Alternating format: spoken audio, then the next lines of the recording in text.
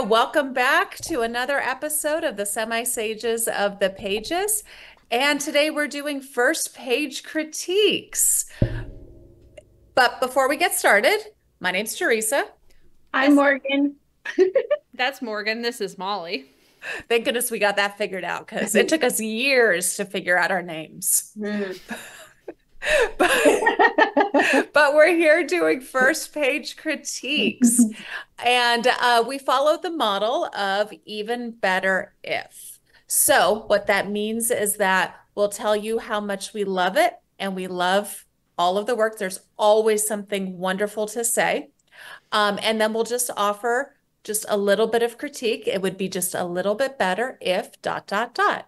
And Sound you good? agree with us, and we will probably disagree with each other. That's the most fun when we're like, I disagree. and that's what's fun because writing is subjective. So at the end of the day, follow your heart, and hopefully, we something we say here will strike a chord and take your writing to the next level. Or if you're just watching this to learn about editing or helping each other edit, maybe this will help you get ideas for your own writing. Exactly. Exactly. So are we ready to begin? Oh, I am so excited I get to read this one. oh, so we are in the genre today, not of fantasy. Ooh. We're in the genre of alternative history. Oh, yes. my favorite. And this is in Wales, and I'm sure there's some Welsh terms. Please, whoever wrote this, be kind. I will try to do my very best in the pronunciations. I am blessed enough to get to read this work, and I'm really excited.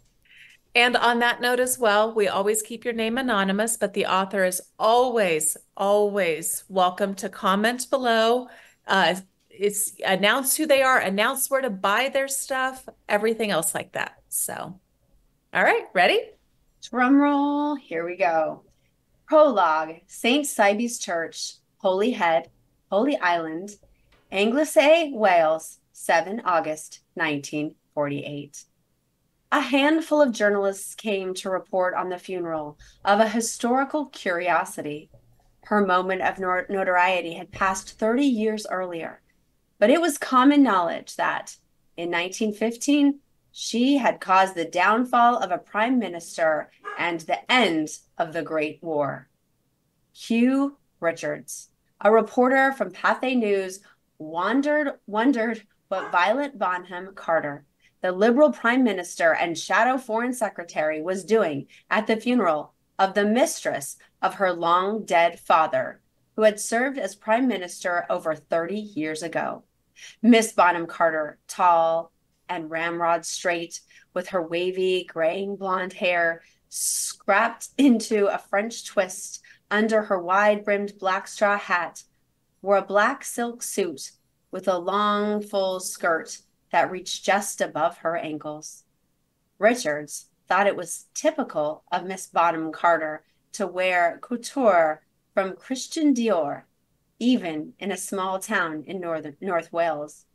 Richard had requested this assignment because his mother was from Holyhead, and his mother's eldest sister was the longtime lady's maid of the deceased. As the eminent lady left the church, Richard shouted at her, why are you here at Venetia Stanley's funeral? Miss Bonham Carter turned to glare at Richard. Miss Stanley was the dearest friend of my girlhood, she growled. But she caused your father suicide. She did not mean it, and she repented for it every day for the rest of her life.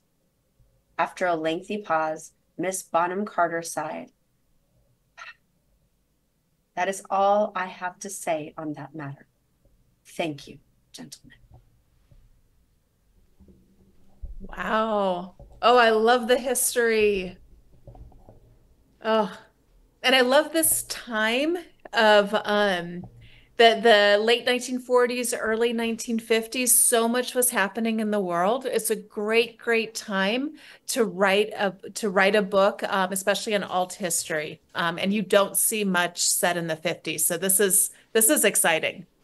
I love the dialogue. I was having so much fun reading it. You could see at the point where I got sucked in and was just like super excited to, to go back and forth. It was really fun. The dialogue section, particularly, was really fun to read. One of the things that I love about this is there is a lot of controversy about prologues. but I think this is a great example of what an effective prologue could do. Because it's not actually a prologue. Like, if you read it, you can infer that this is actually in the future from the story. You know, most of the story takes takes place in the past, um, but it sets it up incredibly well. You get so much information. You you are setting so many expectations for your readers. You're setting up so many promises. You know who the main characters of the story are already. And you've done it in such a succinct way that doesn't feel like info dumping. Mm. That's an an interesting comment though, and I would challenge that a little bit. If um, your instincts are right, and the prologue is set in the future of the story, I would actually be confused as the reader. If I if I went back in time, I'd be like, "Oh, oh, not what I was expecting." Um, and it, it's not a bad thing. It just would it just would be one of those like, "Oh, oh, okay, we went back, not forward." I think the easiest, um, a possible solution that might be easy for that is at the end of this scene, just to make it really clear using heading, you know, or the way the transfer between scenes happens. Um, I'll push back in a little different way. I think it might be a little stronger if the exposition is mixed a little more in the dialogue. Um, and also, like the Teresa always makes these really rich and intelligent comments about how sometimes when you describe a person or their characteristics, you can add so many descriptors that it's hard to know what to hang on to. And as I was reading, I was having a hard time with like the black and the black and the black. and so that word seemed to kind of be coming up a lot. And then it was a little bit um, drowning out. I mean, it's a funeral. So of course that's why. But I'm wondering if before, like, if that can be put in with a dialogue so that I can see the people who are talking more as they're talking instead of front loading the information. Does that make sense, Teresa? Maybe yeah. yeah.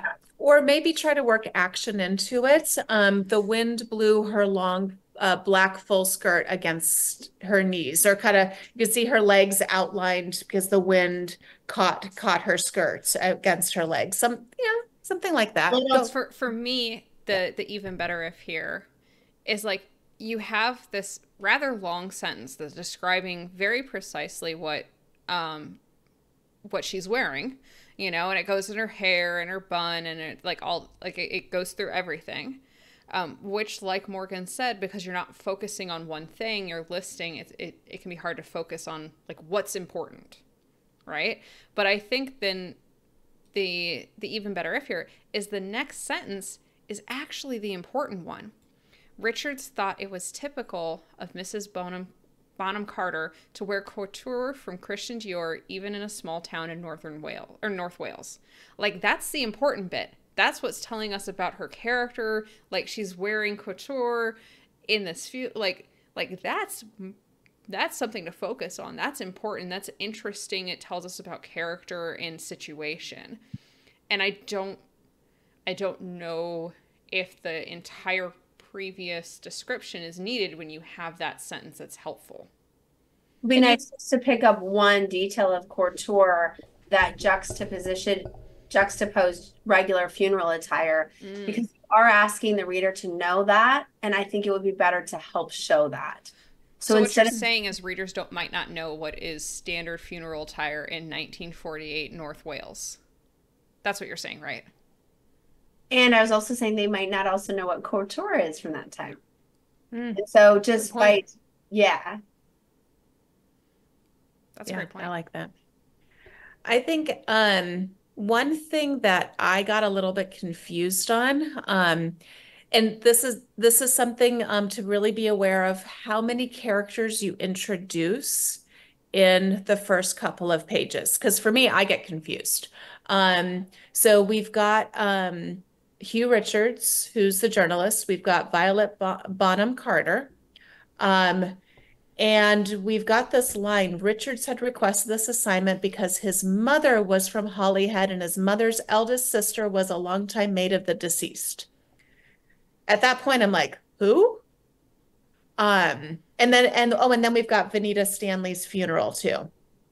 That's a lot of people to keep track of in a very short uh, word count. Um, so just maybe something just to kind of keep keep an eye on. Well, even just taking his motive for being at the funeral, I don't know that it's helpful there. Let us get attached to him a little bit more and show the motive throughout. And I think that that, that detail will be cherished more once we've fallen in love with the sea. Yeah. I would agree with that too. That would be my recommendation would be to trim that and place it a little bit further. Um, but I don't know what comes next. So um, sometimes sometimes you come up with a plan and then you keep reading and you go, oh, never mind, I'm going to delete that. It is that is a great point because we are just reading a first page. We don't know if there's more to the prologue or if this is the entire prologue. Maybe the scene ends here. We don't know. So we just have to give you our best input, which might be wrong and it might be, you know, out of context of the rest of the story. But we'll try. We'll do our best. Thank All you right. for submitting. This was so lovely. It was so fun to get to read a history. Um, you have beautiful prose, wonderful, vivid description, and your use of dialogue was a blast to read. Yeah, I have questions. I would keep reading. And if you want to learn more about the sages, um, please join our Discord. Jump on where we have the greatest writing community in the planet, in my biased opinion. Um, and hopefully you enjoyed this. Also, if you have your own ideas about how to make this piece even better, if please put them in the comments below. We so appreciate it. Our channel is growing and our community is vibrant and it's just been so fun and welcome. Yeah, and if you're interested in having your story read, uh, you go to www.semisagesthepages.com. Again, it's in the description. So check it out, submit, and maybe we'll read it aloud. Thank you. Bye. Take care, everyone. Bye now.